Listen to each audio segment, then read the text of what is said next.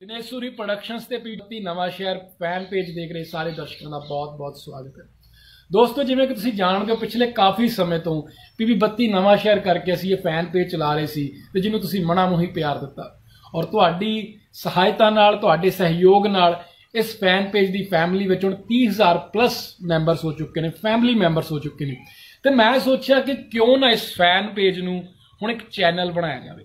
ਉਹ ਚੈਨਲ ਜਿੱਥੇ ਨਵਾਂ ਸ਼ਹਿਰ ਦੇ ਰਿਲੇਟਡ ਹਰ ਵੱਡੀ ਤੋਂ ਲੈ ਕੇ ਛੋਟੀ ਨਿਊਜ਼ ਤੁਹਾਡੇ ਤੱਕ ਪਹੁੰਚਾਈ ਜਾਏਗੀ ਤੇ ਤੁਹਾਡੇ ਐਂਟਰਟੇਨਮੈਂਟ ਦੇ ਡੋਜ਼ ਦਾ ਖਾਸ ਖਿਆਲ ਰੱਖਿਆ ਜਾਵੇਗਾ।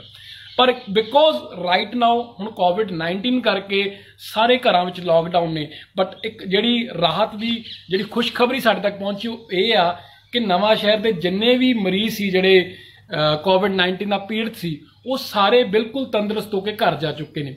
ਤੇ ਇੱਕ ਛੋਟੀ ਜੀ ਮੈਂ ਮੁਹਿੰਮ ਚਲਾਉਣਾ ਚਾਹਨਾ ਆਪਣੀ ਪਹਿਲੀ ਵੀਡੀਓ ਤੋਂ, ਮੈਂ ਇਹ ਕਹਿਣਾ ਚਾਹਨਾ ਕਿ ਜਿੰਨੇ ਵੀ ਲੋਕ ਜਿਹੜੇ ਘਰਾਂ ਵਿੱਚ ਲੋਕਡਾਊਨ ਨੇ, ਜਿਨ੍ਹਾਂ ਨੂੰ ਇਹ ਸਮਝ ਨਹੀਂ ਆ ਰਿਹਾ ਫ੍ਰੀ ਰਹਿ ਕੇ ਉਹ ਕੀ ਕਰਨ? ਮੈਂ ਉਹਨਾਂ ਨੂੰ ਬੇਨਤੀ ਕਰਾਂਗਾ ਕਿ ਉਹ ਭਾਵੇਂ 10 ਸੈਕਿੰਡ ਦੀ, ਭਾਵੇਂ 15 ਸੈਕਿੰਡ ਦੀ, ਭਾਵੇਂ 20 ਸੈਕਿੰਡ ਦੀ ਆਪਣੀ ਕੋਈ ਵੀਡੀਓ ਬਣਾਉਣ ਤੇ ਸਾਡੇ ਤੱਕ ਜ਼ਰੂਰ ਪਹੁੰਚਾਣ ਜਿਹਦੇ ਵਿੱਚ ਉਹ ਪ੍ਰਸ਼ਾਸਨ ਦਾ ਥੈਂਕਸ ਕਰਨਾ ਚਾਹੁੰਦੇ ਆ ਜਾਂ ਆਪਣੇ ਆਲੇ ਦੁਆਲੇ ਕਿਸੇ ਬੰਦੇ ਦਾ ਵੀ ਉਹ ਥੈਂਕਸ ਕਰਨਾ ਚਾਹੁੰਦੇ ਆ।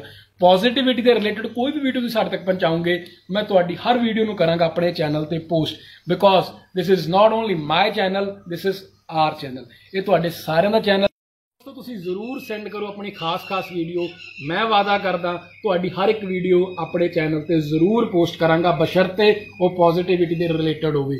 ਸੋ ਦੋਸਤੋ, ਬਹੁਤ ਜਲਦ ਮਿਲਦੇ ਆ ਕਿਸੇ ਖਾਸ ਨਵੀਂ ਵੀਡੀਓ ਨਾਲ, ਕਿਸੇ ਖਾਸ ਨਵੇਂ ਅਪਡੇਟ ਨਾਲ, ਜੋ ਬਿਲਕੁਲ ਤੁਹਾਨੂੰ ਜ਼ਰੂਰ ਐਂਟਰਟੇਨਮੈਂਟ ਦਾ ਡੋਜ਼ ਤਾਂ ਦੇਵੇਗਾ ਤੇ ਨਾਲ ਦੀ ਨਾਲ ਕੋਈ ਸਿੱਖਿਆ ਵੀ ਜ਼ਰੂਰ ਦੇਵੇਗਾ। ਤਦ ਤੱਕ ਲਈ ਮੈਨੂੰ ਜਾਣੀ ਕਿ ਆਪਣੇ ਦਿਨੇਸ਼ ਸੁਰਿੰਦੋ ਇਜਾਜ਼ਤ। ਆਪਾਂ ਬਹੁਤ ਜਲਦੀ ਮਿਲਦੇ ਆ ਔਰ ਜਾਣਦੇ ਮੈਂ ਸਿਰਫ ਇੰਨਾ ਹੀ ਕਹਿਣਾ ਚਾਹਾਂਗਾ, ਨਵਾਂ ਚੈਨਲ ਨਵੀਂ ਲੁੱਕ ਹੈ। ਪਰ ਯਾਦ ਰੱਖੀ, ਮਿੱਤਰਾਂ ਦੀ ਪਹਿਲੀ ਵਾਂਗੀ ਚੜ੍ਹਦੀ ਕਲਾ ਚ ਪੂਰੀ ਠੁੱਕ ਹੈ। ਸਤਿ ਸ਼੍ਰੀ